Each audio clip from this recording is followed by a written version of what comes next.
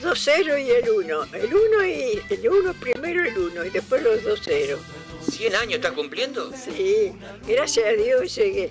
Llegaste. Gracias a Dios y el Papa Francisco. Al Papa Francisco, exactamente. Sí. ¿Y cómo te sentís, nona, con 100 años? Igual, no hay ninguna diferencia. Ninguna diferencia, igual. Igual. Igual me siento. Estás muy bien. Sí, sí, gracias a Dios. Corporalmente estoy perfecta. Nada más que no me deja caminar y no me deja quedar parada la, la rodilla y la cadera, esa parte. Entonces, no sé qué me, qué me agarró. Ni me, ni me y no, no digo, ¿qué tengo? ¿Qué, qué me, me atacó? Eh, ¿Cuántos años tenés? Te preguntan la edad. Y con la edad te curan.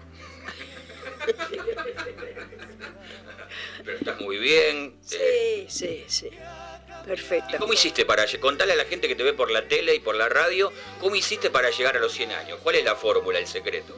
Mira, la fórmula mía es que, que yo sé de, de mi- Ahora de los demás no sé cómo la pasó, pero a lo mío es mirar para arriba a Dios y al Papa Francisco y abajo la tierra para trabajar. Ese es el Trabajo, trabajar, trabajar y trabajar. Yo trabajé en el campo, a la par de mis hermanos, mi, eh, mi papá. Trabajo pero fuerte, pesado, que ni, lo- lo- ni los hombres por ahí se quejaban y tú lo tenías que hacer. Con una maleta, uy, larga, Sí. ah, metro y algo de lona y abajo el cuero para arrastrarla. Tenía el cinturón de, la, de lona con unos ganchos de alambre. Me enganchaba ahí, los ganchos para enganchar la maleta, ponerla entre las piernas y juntar, sacar la, la espiga del maíz y pues, tirarla en la maleta. Y cuando estaba llena me lo sacaba, pero tenía que cargar al hombro sola. Qué esfuerzo, ¿eh? De más de 30 kilos de maíz, vos sabés cómo pesa. ¿Y cuántos años tenía vos ahí? Y ahí tendría yo 18 años. 18 años. 19, Ponían el lomo ahí, ¿eh? 18, 19. Para vos, bañera, que copies, ¿eh? Qué bárbaro. Sí, todo pesado. Y después llenar las bolsas grandes, llenarla. Después venía mi hermano con la chata para cargarla y llevarla y a ponerla en la troja. La troja que hacían un redondel todo con eh, la, cosa como se la guinea. Son todos unos caños largos pero todo junto, atado, con alambre, todo bien, y eso se llenaba. Y no había televisión, nada. Era laburar, no había radio, nada. Televisor ni, ni radio había, Nada. nada. ¿Y cómo se entretenían? ¿En el campo, corriendo? ¿Ustedes cuando eran chicos? ¿Cómo era en aquel entonces? Porque no había nada, no había celular, nada, que hoy los pibes se desesperan. No, no había nada. Ahí en el campo se, eh, jugábamos así con los naipes, o venían muchas veces venían los, los muchachos y chicas a- con el fonógrafo. Y, y bailábamos ahí en casa y yo le decía, papá, van a venir unas chicas y muchachos, una mu- música yo, para bailar acá un poco, divertirnos. Más sí, decía, porque él se iba a dormir. Y mi papá era muy severo, muy duro. Y teníamos miedo que se enojara, que no podía dormir, pero no. Y después te, te casaste. ¿Cuántos hijos tenés y cuántos nietos tenés? Yo cuando me casé tenía 23 años, ¿Y cuántos hijos tuviste? tres. Tres. Los tres, tres, los tres, uno te la llevaste vos. te, te tengo a vos por ella. Y escúchame, ¿y nietos y bisnietos cuántos tenés? Oh, mira, lo- lo- ni, ni pierdo, pierdo ¿Nueve la- nietos? ¿Nueve nietos? Los bisnietos igual, bisnietos tengo. ¿Y doce Tengo dos dos de eh, tuyo Sí. y, Y un montón. y tres, tres o cuatro de Hernán. Nueve tenés en total, nueve y un montón de Y viñedos. uno, uno diez, once con los de, de Diego. Importante es la familia, ¿vos inculcaste eso? ¿La familia es lo importante? ¿La? ¿La familia es importante la familia? ¿Estar en familia es todo? Es una familia hermosa. Dios me dio por ser yo trabajadora y todo y buena. Así me dio los hijos, los nietos y todo. Qué bueno. Sí. Y yo le educaba a la- las hijas cómo se tenían que portar y todo. Me hicieron caso. Ahora se portaba medio mal, pero... Salimos a vos, mamá, salimos a vos, mamá. Ah, digo, si yo a la madre no lo educa, no le dice nada, agarran el camino que quieren ellos. La, la madre tiene que marcar el camino, exactamente. Sí.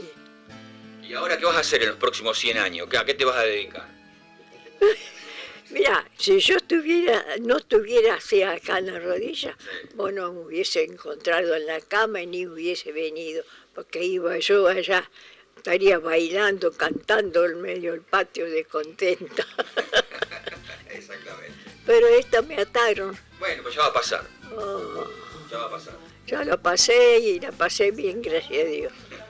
No tenía que llorar de los- no tener esto, de no tener el otro.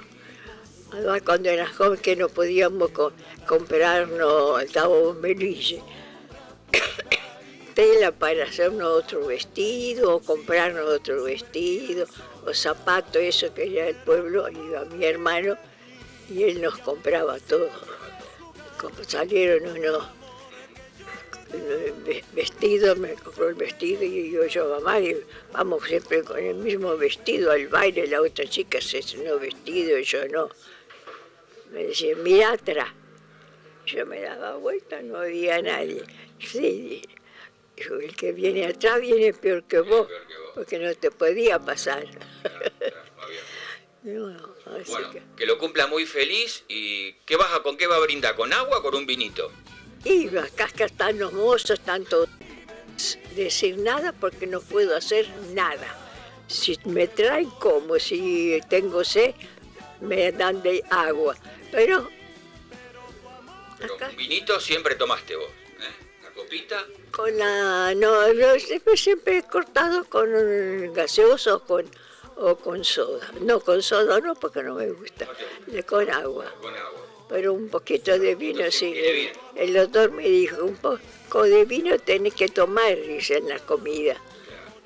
Que sea puro, no, digo, vino puro, no se toma un poquito de vino puro, digo, estoy tres días durmiendo. Bueno, feliz cumpleaños y que la pases muy bien, te queremos mucho. Sí, te espero a la, a la tarde, vienen. A la tarde vamos a venir. A la tarde, no sé. a- bueno, ¿a El cuál? viernes, el viernes, el viernes venimos. Ah, el viernes eran, sí, sí, el viernes. Un beso.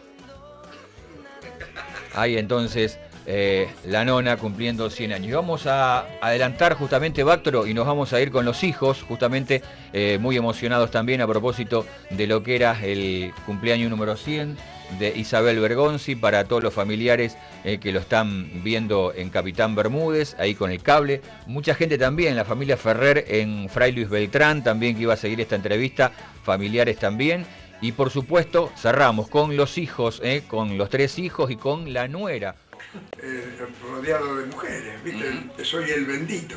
Claro, soy el bendito que estoy entre todas las mujeres. ¿Qué se siente? Y bueno, una felicidad enorme de que mamá haya llegado a los 100 años y rodeado de todo el afecto, de todo el cariño, de- de- tanto de la familia como de los, de los, de los vecinos, de todo. Así que han- ha tenido una buena repercusión el, el- el cumpleaños de, de la de mi mamá. Así que, bueno, lo que se siente, una felicidad enorme. Lo que- Dijo que el secreto estaba en la familia, ¿coincidís? Por supuesto, no hay otra. Eh, estuvieron de otros medios recién y le, le pedí si podía dar un consejo, y te lo pido a vos también, Sí. a todos los que tienen los padres grandes, cuídenlo, llénenlo de amor, que ese es, porque me preguntaban cuál era el secreto para que mi mamá llegue a 100 años. Amor, nada más que amor, y no, y no soy como... eh, eh, Te decía, amor, amor, amor, no, de Elías. No soy de Elías, amor en serio, amor en serio, no amor de televisión. Ámenlo, ámenlo, cuídenlo hasta el, hasta, hasta- hasta el último momento, porque esa es la, la, la- la- la- la- la realidad de todo esto. Bueno, eh, siempre dice que la suegra, oh, hay que bancarla. ¿Cómo se va con una suegra hasta los 100 años? No, no es mi caso, la verdad no, no la tuve que bancar. Mm. Mucho amor entre las dos, me ayudaron muchísimo, así que yo la acompaño siempre porque realmente vale la pena. A veces dice que es la segunda mamá la suegra, puede ser. Totalmente, Mm. más que mi mamá en este caso. Ella estuvo más conmigo que, que con mi mamá, Ujú. estuve yo. Así que muy, muy contenta de que haya llegado, y que esté bien, Que que, esté nos, bien. que nos reconozca a todos y que charlemos, podamos seguir charlando y compartiendo. Lindos momentos. Bueno, Elsa fue la primera, la más grande. ¿sí? Uy, ¿ahora ¿qué quieres que te diga? ¿Qué sensación tenés? Toda. En este momento, toda. No puedo hablar. Te emociona, está bien, está bien, vale, vale, vale. Tuvimos, viste, tenemos tan lindos recuerdos, tan linda, tan linda niñez. Del, del tiempo que yo me acuerdo, son los mejores. Lo mejor. Malos no tenemos. no, posiblemente ellos sí Ah, la hayan tenido, sí. pero a nosotros nunca nos hicieron ver el momento malo. Claro. Mis- eh, los sufrimientos lo habrán tenido entre ellos dos, entre mi mamá y mi papá, pero nosotros no lo notábamos. Ujú. Así que vivimos bien siempre, dentro de lo que ellos podían, teníamos, no nos dejaron faltar nunca nada. Nuestra juventud hermosa, con, con todo lo, eh, la libertad que tenían los chicos ahora, nosotros la tuvimos en nuestro tiempo. Sin- con, con el límite de que nos enseñaron el respeto, que nos teníamos que cuidar, respetar al prójimo, saber escuchar, discernir, pero sin pelea, viste que a veces uno tomamos discusión y, y nos vamos de boca y eso no. Vamos a tener diferencia, pero no. Nosotros no la, somos más tranquilos en ese sentido, porque cada uno tiene su idea Totalmente. su idea y su ideología, su manera de vivir, su manera de ser. Y de esa es manera en donde nos tenemos que respetar todos. Así que, viste, todo eso es de la enseñanza de ellos dos, De tanto de mi mamá como de mi papá. Claro. Y la unión, la unión de la familia fue lo esencial. Así que nosotros no sabemos lo que una pelea, lo que una discusión. Ahí está el secreto. Ahí está, acá no somos treinta y pico cuando nos reunimos todos. Y acá no se habla ni de fútbol ni de religión. Se, se chupa, se come y se canta. Bien gringo. Es- esa- eso es lo que ten- es la ideología que nos enseñaron los viejos, porque venimos de una cuna. Claro. Bueno, y Delia, la, la segunda, Ah, vieja. Y emocionada también como ella coincido como ellos tres, una mamá divina, un papá que nos dio todo, Ujú. todo, así que sí. Y ellos también, siempre con la unión, y, no- y también como ellos, viste, este, nos dieron todo y, y, este, y nosotros disfrutamos y, y ellos pueden estar orgullosos también de nosotros porque Le le respondimos. respondimos a, a lo que ellos nos, nos enseñó, y yo también Ujú. por vivir una familia hermosa con ustedes, que son parte de ella también. Los queremos mucho, los sobrinos, los, los nietos, y ahora tenemos los más chiquitos que ahora lo disfrutamos con ella. El legado es ese, es seguir con, seguir con la familia. Tenemos las- los más chiquititos que todavía, eh, y uno en camino, que también, así que fíjate, la verdad que no nos podemos quejar. Bueno, este es un cumpleaños muy lloroso. Este es el legado, este es el legado, este es el legado. El mejor regalo para la nona. Para- no hay otro, no hay otro, no hay otro regalo para las nonas que el amor, el, Mm. el afecto, el cariño y el cuidado que necesita ella, Mm. porque ahora es un cristal. Es un cristal que, que- Es una que- reliquia. que- claro, Eso, que- tenemos que- la que como le decía a todos, es más vieja que el Forte. Claro, claro, y el Ripoll se hizo famoso.